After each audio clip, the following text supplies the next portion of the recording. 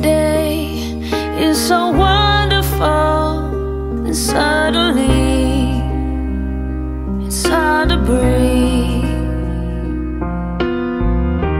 Now and then I get insecure from all the pain I'm so ashamed.